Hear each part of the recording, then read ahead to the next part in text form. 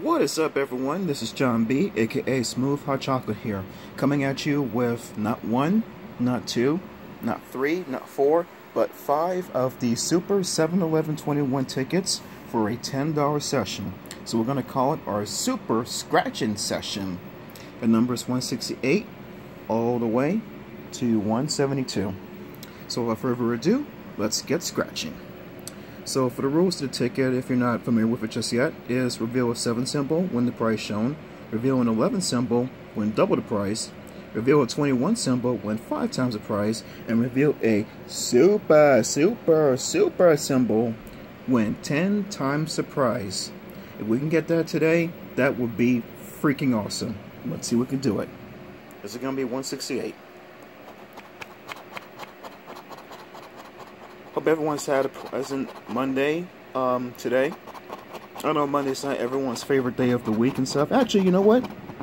Yeah, I'll ask it. In the comments down below, what's your favorite day of the week? It could be, be Monday too, you know, because everyone's different. My day was alright though. I just, um, you know, got from work about a couple of hours ago. I decided to go ahead and get these tickets here because I felt a little bit luck. Oh, here we are. Right off the bat, we got seven. I think it's possible to win more than just once on this ticket here, but um, let's see if we can get another seven symbol or anything else. Nope. Okay. So the price here is worth five bucks. You know what? Spent ten dollars and already got back half our money. Let's see if we can get some more. Because I'm green like that. no, I'm just kidding. And we have another win. Nice. See if we can get some more on this one. What I did was I went to this um, lottery store that's uh, like a smoke shop on Union Turnpike and uh, decided to get five of these guys here, obviously because you've seen them right now. You know, I just figured, you know, I was going to get at first a um, $10 scratch off or a $20 scratch off, but I figured, no, just go, you know, a little bit lower, have more chances to win something off of it. So if you do, you know, lose on these guys, which we haven't thankfully just yet, it's better than losing on just one big one, though. Surprising, this one is worth another five. Hey, we broke even so far. Nice. Five for five. It's got $10 here. Let's see if we can try to make a profit session from this. This is going to be 170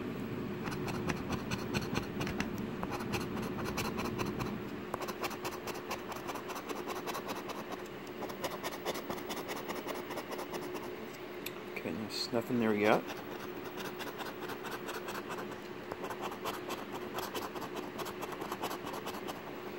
And last chance on this ticket.